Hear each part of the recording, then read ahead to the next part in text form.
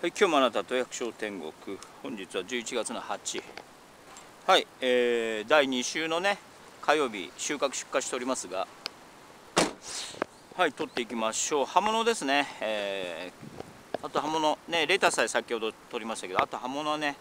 今日は春菊、えー、ルッコラわさび菜葉大根、えー、小松菜の5種類かな。はい。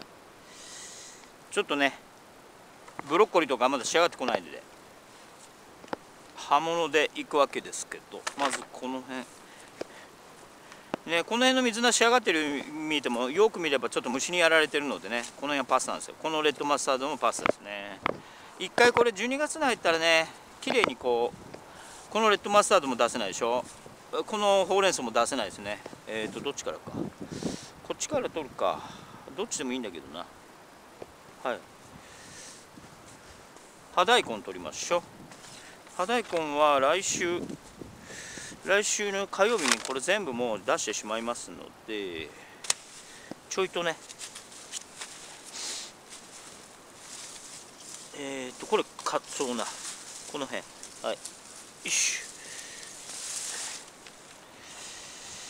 あの、先ほどのね中間層がなくなっていくっていう話でね昨日なんだかよくわかんないけど 東大出て AI かなんかのエキスパートのすごい偉い先生というかねその人がもちろんあのビジネスマンでもあるんですけど今はすごくねあれと似てるって話をしてたんですよ。その例えば幕末の時にね僕もそういう感覚を今すごく持ってるんですけど幕末の時にまああの明治維新が起きてねそれで武士というものがなくなったわけですよね。ちょっと虫が多いな。でその時にあれでね全人口の2割ぐらいなんですって。あの当時の武士。で武士階級っていうのが要するにまあ武士っていう人がまあいなくなったわけですよね。要はまああのいらなくなったっていうかね。でその武士っていう人たちは例えば北海道の開拓団になってね北海道でそういう労働者に、ね、なったりじゃがいも作ったりえー、いろんなそういうまあもう武士は要するに武士としてあのいわゆる殿様がいなくなったわけですからね、えー、武士としてその飯は食えないわけですよね。でいった形であの2割のいわゆるいわゆるだからその今でいうだからそういう中間管理職っていうサラリーマンみたいな人が全部そういう階級がなくなってねいなくなったんだという話をしてたんですよね。でそれが今今はこのこれから起きるのは要するにホワイトカラーがいなくなるんですよといわゆるね。あの会社に勤めてるそういうでそれは全部 AI に置き換わるんですって話をしていてつまり経営側から見た時にそういう人材はもう AI で全部置き換えられるからいらないと、ね、いう話をしてて。皆さんどうですか？働いてるとそういう感覚ありますよね。皆さんの会社の中でどこの部署が無駄かって言って部署ごと無駄だっていう仕事あるわけでしょ？ね。例えば総務とかね。はい。総務はだからいずれ全部あ AI に変わるわけですよね。総務のエクサエクスペシャリストって必要ですかって話になってきますよね。いらないですよね。よくわからないですよ。俺は会社の難しいことはね。でここで大事なことは何かっつったら現場の人間はいるんいるんですよ。ね、だから例えば橋を作ったり道路を作ったり。でその数っていうのは一定数変わらなく必要なんだっていう話をしてたんですよねその先生がね。だからこれから介護だとかそういう現場仕事ね。ここの給料が今少しじわじわと上がってきていると、ね、今はまだなかなかね例えば流通まさにそうですけど完全に自動運転するまでの間はやっぱり人が運転しなきゃいけないわけですよね。はい、ということでそういう現場仕事ね建設関係もそうですけど今もう人手がいなくて、えー、ねああの物件なんていうかそう仕事を受けられないっていうところがもういっぱい出てきていてっていう話をねしててその先生の中ではねそういう建設業とか介護とかいろんな仕事を挙げてる中で農業は入ってなかったですけど 農業も同じなんですよね。ある程度の数はいるんですよ農家も。ね。やっぱり野菜大根こうやって作る人はある程度は必要なんですよね。全部を海外から輸入するというわけにはいきませんから。だからそういう意味ではねあの現場はこれからはあの現場と経営者っていうこの二極構造になっていくっていう話をしてましたね。はい、例えばどっかの会社に行ってさてなんか機械が壊れた時に機械が壊れたら回らないからそれをメンテナンスしに行く人とかね。そういうこういわゆる現場仕事はこれからどんどんニーズは高まっていくのでこの現場に出る仕事をの人をやっぱりこれから大事にしなきゃいけない。あるいは育てていくみたいなことが大事になってくるっていう話をしてましたね。で結局先ほど言ったようにいわゆるホワイトカラーのデスクワークをしているサラリーマンの人はもう必要なくなるということをおっしゃってましたね。そのあの偉い先生がね。あそれを聞いていてねなんとなく僕のそのなんかなんていうかね感覚的なものはあ、まあ、やっぱりなんかなんとなくあの間違ってないなという感じをいたしました。ね個人的に。僕は難しいことは何もわからないけど。だか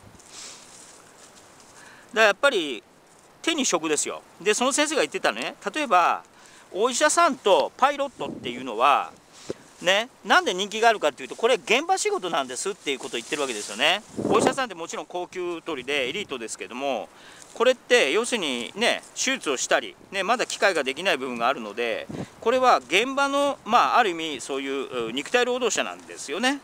パイロットと。でその中でもまあ労働時間が割とね長いかもしれないけど高級取りであるということで。だからお医者さんはお医者さんにさせるわけですよね。つまり日本ではねあの医師国家試験を受かるとそれ一生ものの試験ですよね。はい。弁護士とかもそうですけど。だからあのみんなお医者さんになりたがるんだって。つまりちゃんとした腕にね手に職があるということが大事ですよっていう話をね。はい。だからやっぱりそういう意味ではねもちろん誰にも見向きもされない業界である我々のこの農業ではありますが。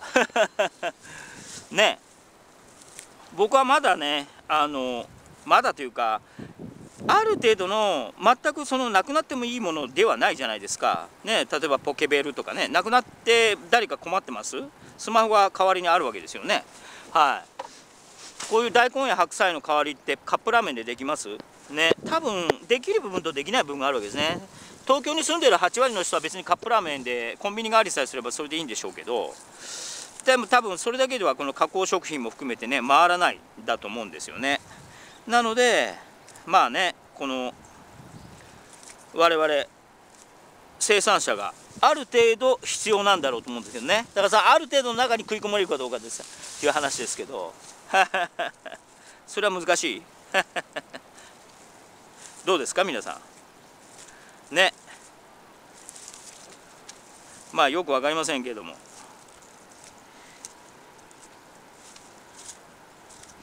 だから先ほどのねそのいわゆる侍がなくいなくなってねあの2割の人が職業外を余儀なくされた。要するに元侍っていう人たちがね、えー、農家になったりねお百姓さんになったり北海道の開拓団になったりで多分それが今度の AI でねいわゆるホワイトカラーの中間層ね。だからとりあえず俺は何もできないけど部長はできるっていう人がいらなくなるということなんでしょうね。よく分かりませんけども。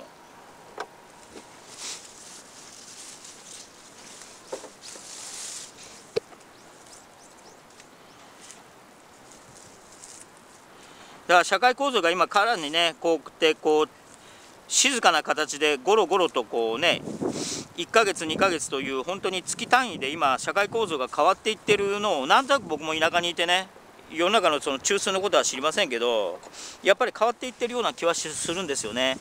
その中でどうね何をって言った時にやっぱり僕は一つはねこうやって田舎ででこれからはねローカル経済がかなり強いことになるよって要するになぜかというと現場だからね。現場主義なので何かを作ろうとしたりそういう時には土地が必要だったりね。ああまさにそうだなって。ね。農業は東京の真ん中じゃできないんでそういう意味ではねあの農業にの世界でねある程度生き残ることができれば需要はある程度ね全く必要のないものではないわけじゃないですか。そういう意味ではね農業で生き残ることができればパラダイスですよということをねいつも私はお伝えしてるんですけどどうですか？別に農業なんかやらなくたってもいいと思いますけど。まあ僕はもう30年ねこうやって日本の田舎をぐるぐる転々としながらね農業やってきたので今更ね東京に戻ってこうサラリーマンをやろうとかってやろうっていうかいや私の椅子なんかもうないわけですよね、うん、この厳しい。おそらく AI に使われる側の人っていうのはもう全員淘汰されるわけですよね。AI を使う側になる。ということになるとそれはもう経営側に回らないと無理ですよね。自分が社長になって起業した時に社員は AI でほぼ置き換えられると、ね、AI で置き換えられない人を雇うってことになるわけですよね、うん、私のようなボンクラでもそれぐらいは分かりますよ。っていう話でね。よいしょ。はい葉大根。カツオナがいい大きさになってきましたね。これも12月ぐらいには出せるかなと。葉大根取りました。そして春菊ルッコラなどなど後ろの方行きますか。このほうれん草が出せなかったのは痛いね。これもでももうちょっとねなんかこう冬場になってきて気温が下がってくれば出せるかね。どうなんでしょうか。あらこの水菜もえらいやられとるにゃん。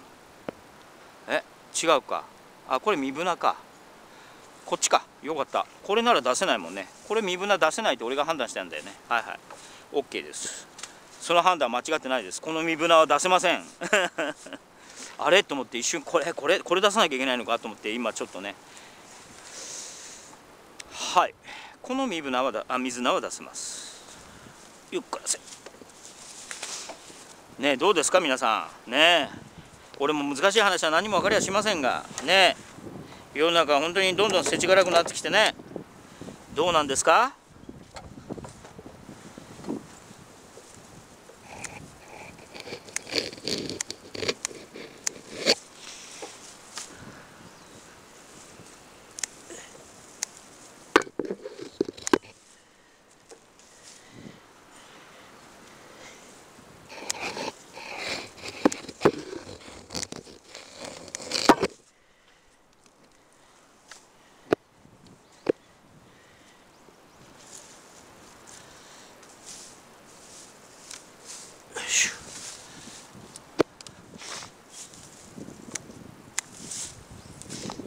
少しずつ、ね、冷えてきて虫の動きが少し弱くなってきてるのを感じますがまだまだですよね。まだまだです。まだまだ動いておりますよ。ねそうでしょ？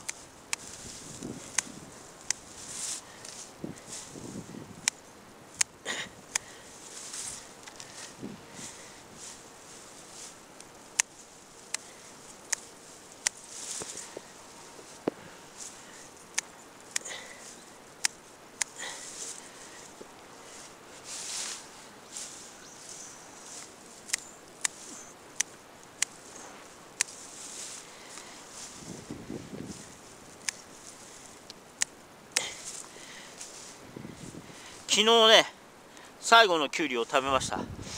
あのなんかほったらかしてるところできゅうりができてたので、ね、1本だけ取ってね美味しかったですね。今年はだから秋もう一回巻いとけばできましたかねきゅうりね。ちょっとサボっちゃいましたね。想像以上にあったかいからね。いやいやって感じですよね。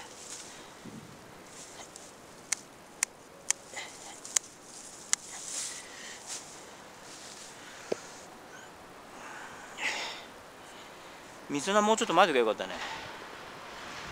はい。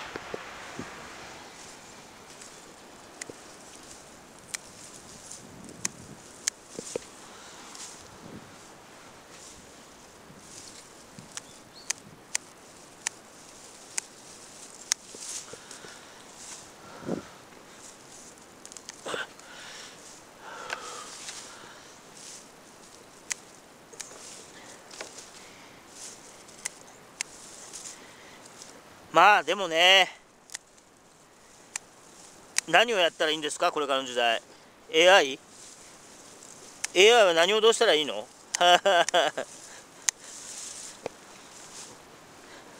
パソコンのことでもう私はパソコンスマホで私はもう全くついていけてない人間が AI で何何かをなんかついていけることってあるんですか？万に一つもないよね。別にいいけど。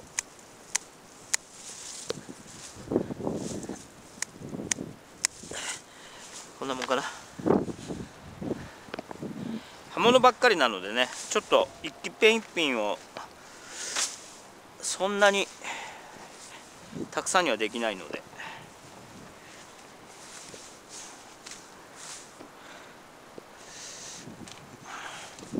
いやこの辺ねこのねこの早稲の身ぶな食われやすいよね本当にね。ちょっと邪魔。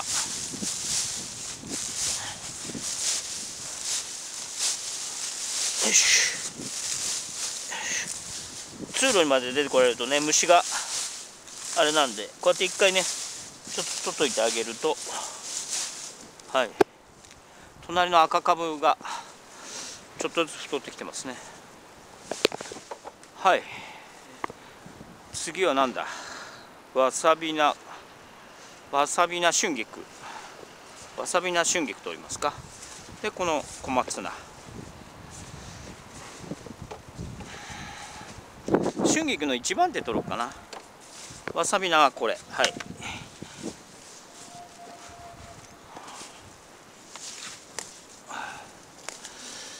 ね時代がどんどん皆さん変わってきてますけどどうですか？皆さんはサバイバルできてますか？いやいや百姓農園と。私は今ね不動産あのマンション2棟と。ねえー、空き家1軒と。プラス、えー、こういう事業やって通販事業もやってみたいなね。まあたまにそういう人おられますけどすごいよね。だからやっぱり思うよね。その例えば大学なんか行かなくても宅建の資格を取ってね不動産投資とかねあの例えばプロもっとプロ野球の人とかってねいろいろ自己破産する人もいますけど例えばあの人元ほらレッドソックスの上原さんっているじゃないですか。プロ野球の。今ね上原さんのよくチャンネルも見ますけど。まだあの人40とか50なってるかなってないかでしょ。まああの人はね障害所得はまあすごい100億ぐらい儲けた人ですけど。もう20代の時にマンションを2棟ぐらい買ってるんですってね。はい。それでこうその家賃収入。まあ管理会社に任せてずっと家賃収入だけであのいくらあるみたいな話をねなんか投資の番組に出てね話をされてましたよね。しっかりされてますよね。だからやっぱりそれぐらいはねまあ多分億単位の最初に初期投資が必要なのでねまずその何億っていう10億ぐらいは投資しなきゃいけないっていうその10億はま普通の人は賄えないからとうまくやればねっていうのはなんかあるのかもしれないですよね。なるほどなって。だからそういうこうなんか投資家になるとか含めてねそういうことをやっぱり自分で勉強しなきゃいけないわけですよね。僕が大学生の頃はそういう形での情報ってやっぱりなかったもんね。と思います。はい。そういう意味ではやっぱり自分の頭でものを考えてねあルッコラも取らなきゃいけないね。自分の頭でものを考えてやっぱり自分で生きていかいくって思わないとやっぱりそういうことって思いつかないよね。いつまでも当たることのない宝くじを当たることを夢見てね。あるいはパチンコやったり競馬やったりしたって当たるわけないんですから。はい。ですよね皆さん。よく分かりませんけど。昔よくね佐川急便でバイトしてる時にパチプロの人いっぱいいましたけど。ね千葉時代でもなんかいたな周りにね。畑やりながらあのパチンコパチンコで月100ぐらいはあの大丈夫よって言ってた人もいたけど今どうか知りませんけど。ねえ。へえとか思いましたけど。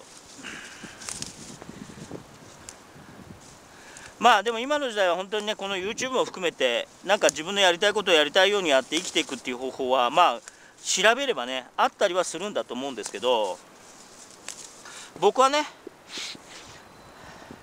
汗をかいて生きていきたいのでその何て言うかなずずるというかねあの何もせずにお金が入ってくるっていう状況っていうのはその上原さんにしたってねそれだけ活躍してね人にはない特殊能力を持ってるからそういうところに触れることができるわけですよね。やっぱある程度突出した才能を持ってないとそれは庶民では難しいわけですよね。何だってそうだと思うんですけど。で普通に生きてる人のとこにそんな美味しい投資話が来るわけないんで。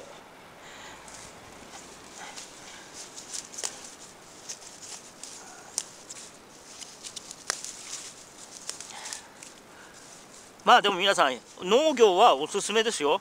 ね。これで食えることができればね。こんなにこうまっとうな仕事はなかなかないじゃないですか。ね。先ほどの不動産って言いましたけどね。不動産が全てそうだとは言いませんがね。本当に人を幸せにする仕事って何だろうってね。農業はどうですか？皆さん。ね。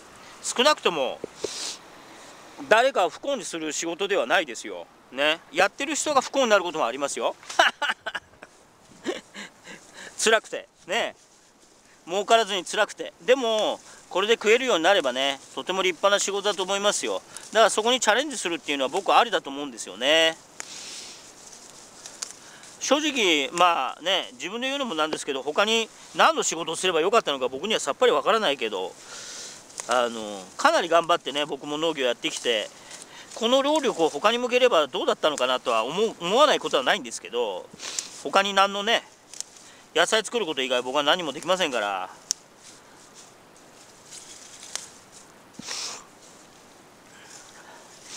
まあでも足が動かなくなったらどうしたらいいですかね皆さん。60過ぎて。誰か私を雇ってくれる方おられますか？いやいや百姓農山さんは口だけ達者でえ？なんか役に立つことできんの？みたいなね。えー、できません。経理もできません。はい。パソコンもあんまり得意じゃないです。はい。しょうもない動画を上げることはできます。はい。あれ撮ろうか。あ柿菜がいい大きさになってきてますね。これが2番手の柿菜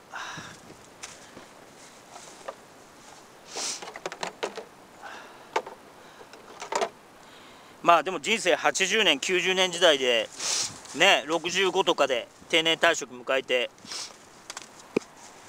それからまだねやっぱり10年20年あるんだったらやっぱり仕事しないといけないと思ったらやっぱり僕がおすすめなのはやっぱり50ぐらいで1回ねここで人生折り返したと思って50ぐらいで自分でそこで何かその経験を生かしてね専門職生かして起業されるっていうのが僕は一番いい生き方だと思いますけどね。経営者になれば定年退職ないわけじゃないですか。からそういう意味では農業はね定年退職ないですから80までやろうがね90までやろうが体が動く限り自分でこうやってやってまあもちろん大変かって言われるとね大変だと思いますけどよ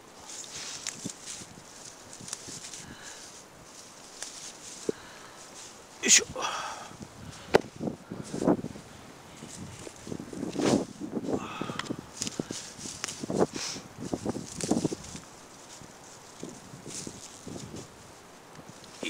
いててて。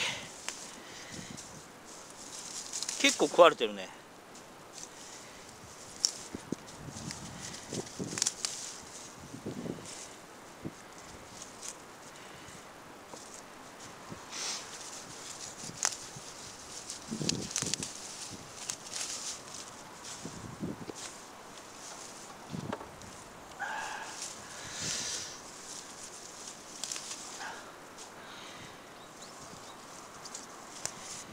コメントいただきましたけど還暦近くになったらねやはりふるさとに帰りたくなりましたってコメントいただきましたけどもねありがとうございます。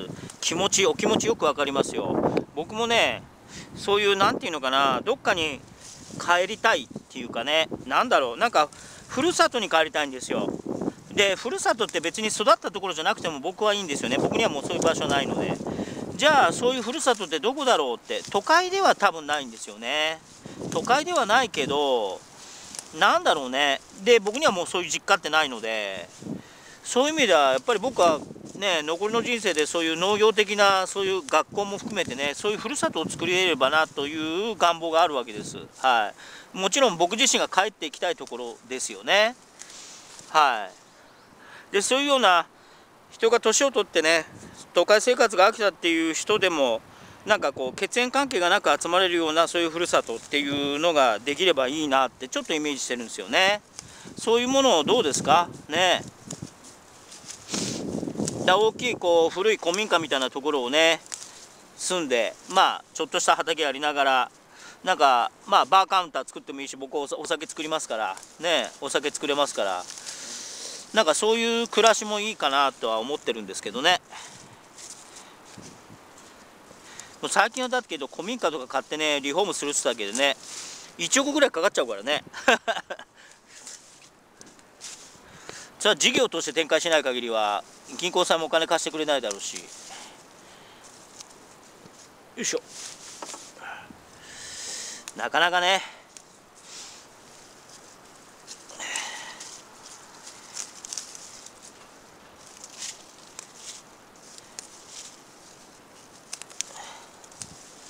だからそういう意味では日本にはもうそういうこうふるさとってねいつも言いますけど日本の田舎にそんなね隣のトトロのような場所なんていうのはもうないんですよ。残念なことにね。そうですよね。はい。なので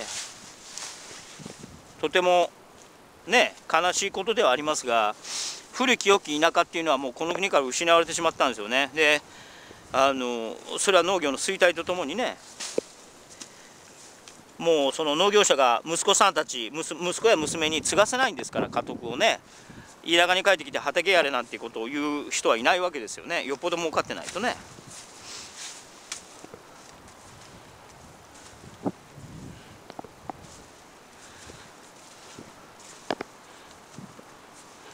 何取りました？わさび菜水菜。葉大根か。よいしょ。ゆっくらせ。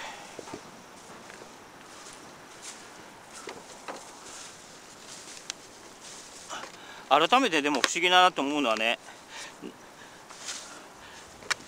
農業 YouTube って農業やってない人がたくさん伸びるんですよね。僕みたいに専業農家でこうやって毎日せこせこやってる畑動画って全然伸びないんですよね。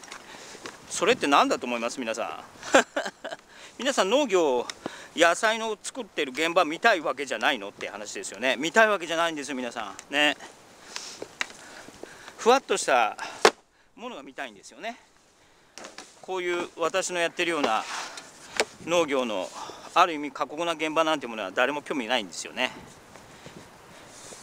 農業は素敵だ。ね。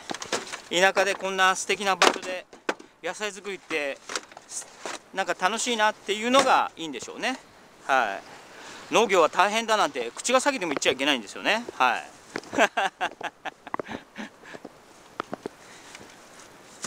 だ農業の現場はをどれだけね克明にこうやって詳細にお伝えしても意味がないんですね。はい。それぐらい農業っていうのはやっぱりもう都市の人から見ればね遠い存在なんでしょうね。そうなんだろうと思ってます私もね。はい。なので別にいいんですけど。私もね30過ぎて都市生活というものをね捨ててしまいました。捨ててしまった人間なのでね。お互い様なんですけど。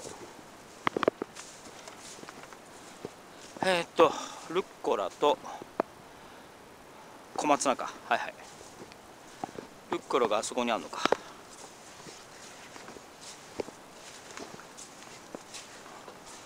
よいしょ。